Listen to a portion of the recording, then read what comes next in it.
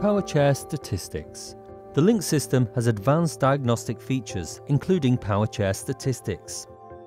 This section provides information about how the PowerChair is being used and can be read live from the PowerChair or as part of a saved file. The battery usage section includes information on total charge time and number of charge cycles. The section also includes where the cumulative time the PowerChair has spent within the battery gauge. This can be used to check how the power chair is being used between charge cycles.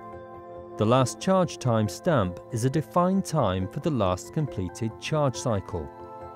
All critical battery events are also logged, including high, low and deep discharge states. This information can be reset to allow new data to be captured in order to continually monitor the power chair's usage.